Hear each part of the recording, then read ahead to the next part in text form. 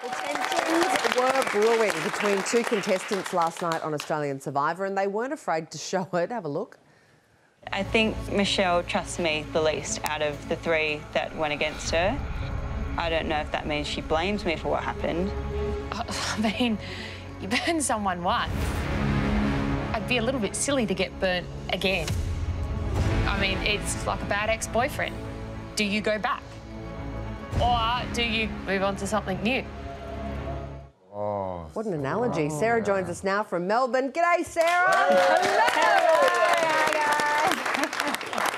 that was pretty... Man, I feel a bit... I feel bad. I hope I wasn't Michelle's bad ex-boyfriend. I know, right?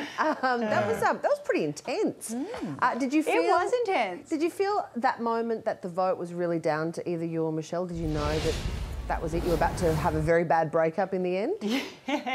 yeah, I know. We were spooning buddies, so it was actually sad to come to an end that way. But um, uh, yeah, no, I definitely did see the writing on the wall, and that's why I think Luke and Jericho decided, you know what, she's a drowning cat. She's not worth the time. And fair enough. I, if, if, I saw a drowning cat, I'm not sure if I would have saved it out there.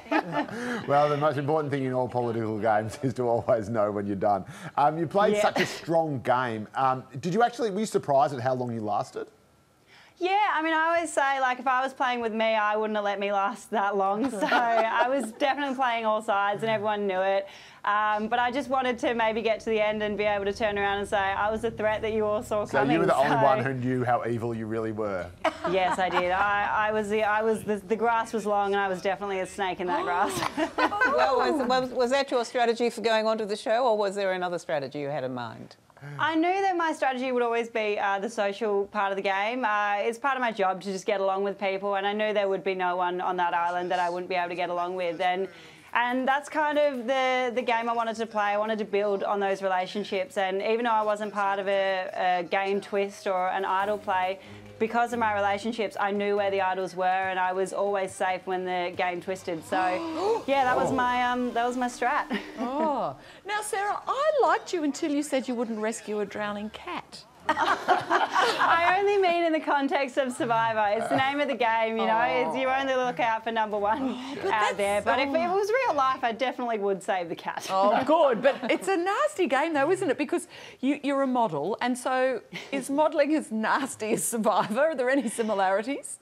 Um, actually, in Australia, the modelling industry is the nicest, uh, the, the, nicest place. People are very supportive. But yeah, when you do go international, uh, it's a lot more brutal and cutthroat, and you do have to be very aware of people's intentions and just just be secure in yourself and be able to uh, navigate those.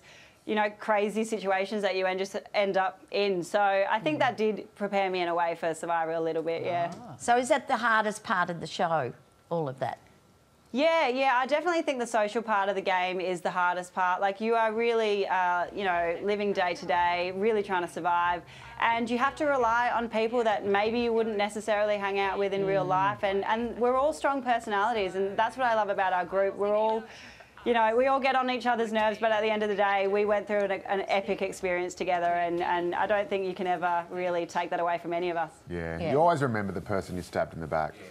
Yes, I mean, yes, yes. Me and um, Michelle will yeah, never, will never forget right. each other. My God, you were gorgeous. I was looking at the, the vision of you lost on the island with that dirty hair and you haven't had a shower in weeks and you just look breathtaking. What have you been up to since leaving the show? Uh, I've been eating lots of burgers, pizzas, and pasta. I see myself on the show and I'm like, oh, gee, you look a bit skinny. Have another burger, Sarah. You deserve it. Um, but yeah, just uh, living life, really appreciating uh, the little things. When you're on the island, you do. Uh, all you think about is, is your life back home and, and how much you will appreciate it when you get back there. And, and I think that's what I've just been doing.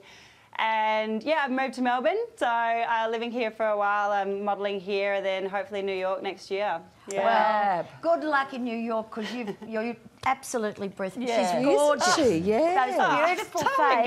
Yeah. No, I'm serious. Just yeah. beautiful. Thanks. Tell me more. yeah, as a former model myself, Sarah, I can tell you you've got what it takes. I, I saw the bone structure in you. I definitely yep. see you, have got the you've got the all the makings for a, a supermodel. yeah, that's what my casting agent said. yes, yes, yes. In his dreams. Um, now, don't, don't forget to tune into Australian Survivor at 7:30 tonight on the 10 and Win networks. Sarah, thank you so much for joining us and good luck. Awesome. Thanks so much, guys. See ya.